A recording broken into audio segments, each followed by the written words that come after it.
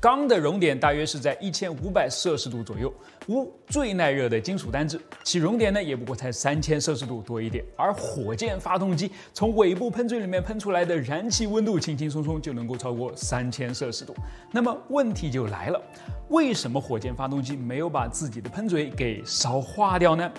我是百科全书火箭叔，今天我们就来研究一下这个问题。答案很简单啊，要是它就这么干烧的话，任它是什么材料都是扛不住的。但是如果把用纸做的碗里面装上了水的话，就算是把水都烧开了，纸也是烧不穿的。同样的道理，火箭发动机的喷嘴里面，哎，当然还包括它的燃烧室里面，也是需要装上一些能够帮助它吸热的材料的。具体方法大概有以下几种：再生冷却、屏蔽冷却和膜冷却、蒸腾冷却、烧蚀冷却和辐射冷却。下面我们就一一介绍一下。再生冷却是大推力液体火箭发动机采用的主要冷却方法，它其实是有点物尽其用的意思。怎么说呢？因为液体火箭所用的燃料一般都是液氢、液体甲烷、煤油、液氧之类。煤油咱就不说了，另外几样东西你要保证它是液态温度必须要降到非常低才行。比如最夸张的是液氢，其温度低至零下两百五十二点七摄氏度。要是能用它来帮喷嘴降温，不是很妙吗？所以再生冷却就是这么干的。在把这些低温液体燃料注入到燃烧室之前呢，先让它们围着喷嘴走一圈，不仅能够带走喷嘴里面的热量，同时还能够让它们在进入燃烧室之前预升温了一把。于是这些带走的热量也就完全没有浪费掉，而是重新又回到了燃烧室里面，就像是白捡来的一样。哎，正是因为在这个循环当中没有热量的浪费，所以这种方式才叫做再生冷却了。那么这些由燃料兼职的冷却剂是通过什么样样的途径去到喷嘴里面兜圈圈的呢？主流的结构有管束式结构、洗槽式结构和波纹板结构。管束式结构，其典型的代表是土星五号上面的 F1 发动机，它将铜管、镍铬合金或是不锈钢的导管按轴线方向或是螺旋式的埋进喷嘴的内外壁之间，就像是夹心饼干中的夹层那样，十分美味。啊，不不不是十分有效。当然，管子的形状也是有讲究的啊。研究表明，像图中这样纵横比小的矩形管子是兼具了刚性、成本、重量的最佳方案，所以用的也是最多的。再说洗槽式结构，当燃烧室内的压力比较高的时候，为了增加结构的刚度和改善热效率，洗槽式结构就登场了。它会在燃烧室的内壁外表面用数控洗加工出很多像这样的并排的冷却槽道，让燃料流过它们来为燃烧室降温。其中的代表是航天飞机的主发动机，它采用的是混搭式的再生冷却通道。前段也就是燃烧室和喉咙部分采用的是洗槽式，喷嘴的部分则是将一千零八十六根矩形导管焊在一起制成的。它的效果有多好呢？据说发动机点火之后呢，尽管内壁的温度接近三千摄氏度，但外壁的温度却可以低到用手去触摸，而且最好是要戴上手套哦，不然说不定会被冻伤的。冰火两重天，哎，这个是不是就是最好的诠释了呢？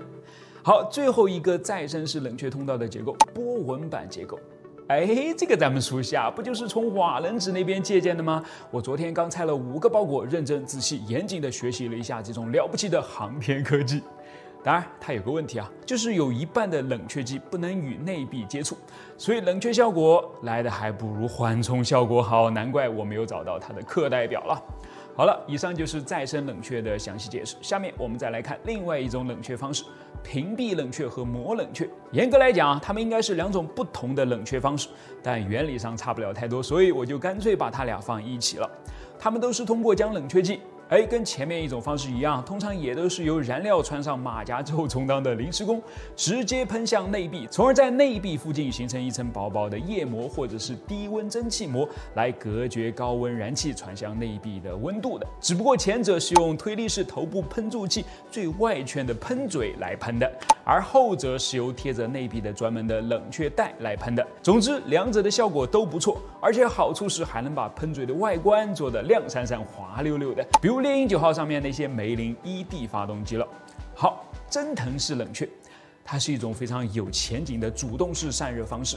冷却剂通过内嵌在燃烧室和喷嘴内壁的多孔材料渗入到推力室的内表面上，吸收热量蒸发并形成低温的蒸汽膜。哎，这是不是可以理解为是双重保护呢？蒸汽膜是一重，多孔材料本身应该也算是一重吧？所以把它装在像是火箭发动机温度最高、压力最高、热流密度最高的喉咙部位时，可以收获到比其他技术效率更高的冷却效果。好，接着我们再来看看什么是烧蚀冷却。说白了，就是把采用烧蚀材料制成的内衬镶嵌到喷嘴的内壁上。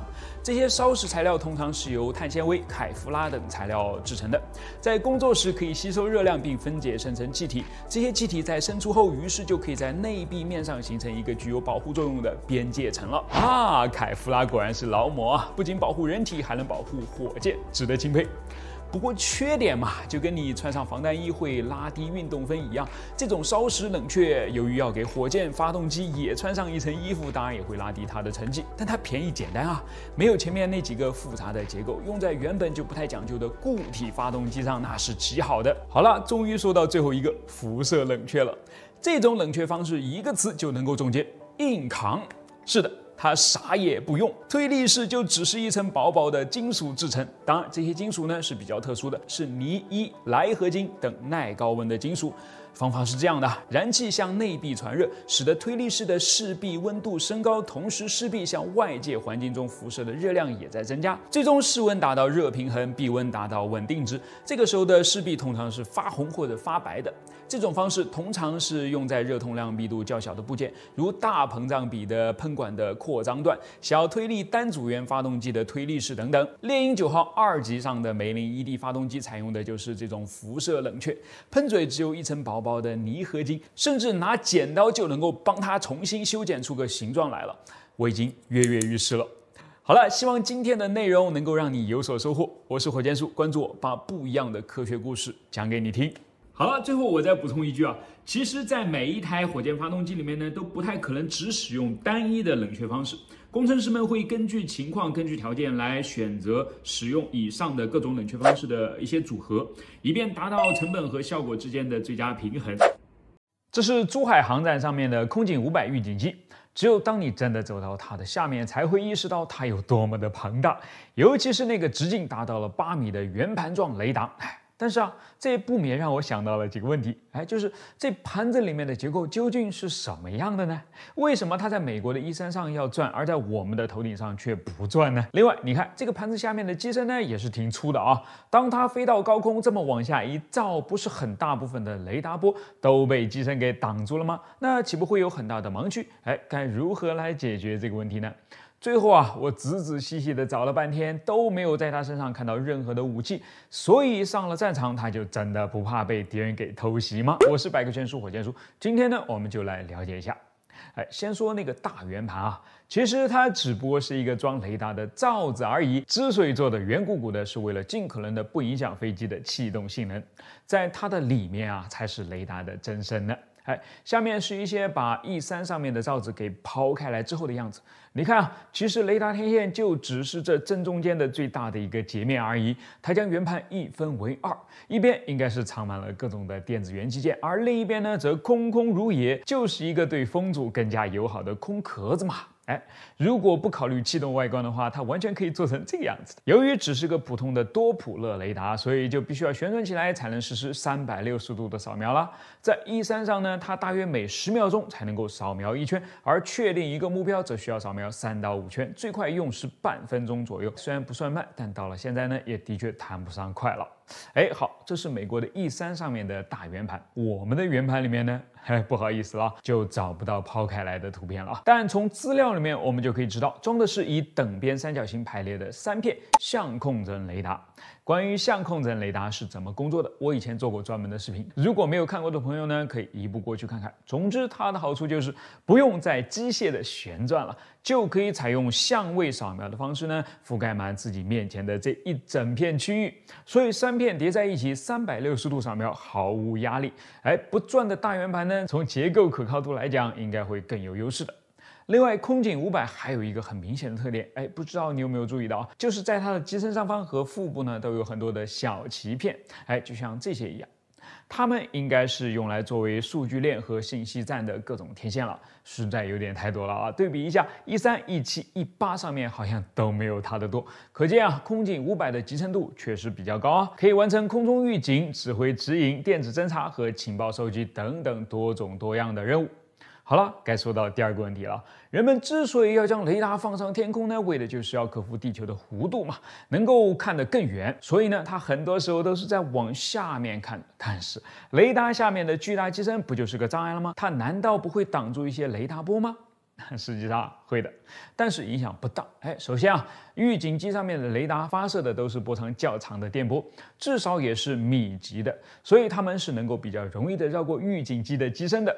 其次呢，由于雷达天线和机身之间的距离一定啊，再加上机身的形状材料也都是确定不变的，所以呢，就能够通过一些特殊的算法，将机身上这部分反射回来的雷达波给自动过滤掉了。等于在头顶上那面天线的眼镜里面，机身就是个透明人。这么说呢，有点伤机身的心啊，但确实就是如此的。不过我倒想到了另外一样东西，你说为什么雷达罩它不会遮住雷达信号呢？哈，原来啊，它是从材料上入手的，一般用的都是玻璃纤维等透波性好、强度高且重量也很轻的复合材料制成的，所以不会遮挡雷达信号嘛。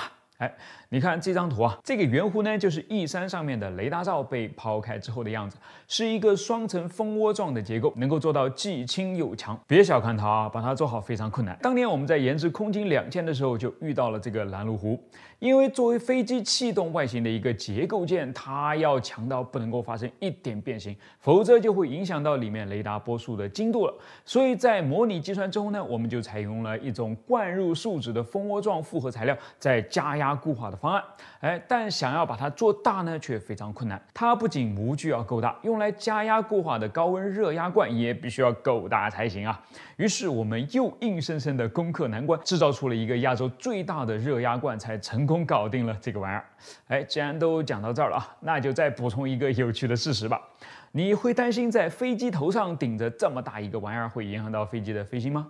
还实际上呢不会啊，因为它的气动外形正好提供了足够的升力来抵消了其自身的重量，从而较好的使飞机保持了平衡。不过还是需要付出一些代价的，那就是你得把它当成是一架客机来飞，像这样的机动动作 就不要想了啊。